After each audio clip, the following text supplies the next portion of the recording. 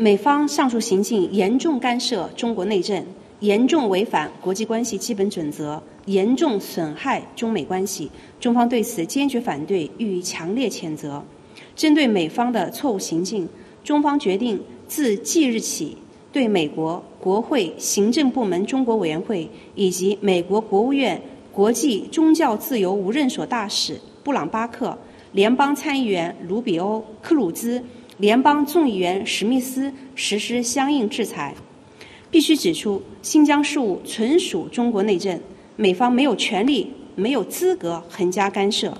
中国政府捍卫国家主权、安全、发展利益的决心坚定不移，打击暴恐势力、分裂势力、宗教极端势力的决心坚定不移，反对任何外部势力干涉新疆事务和中国内政的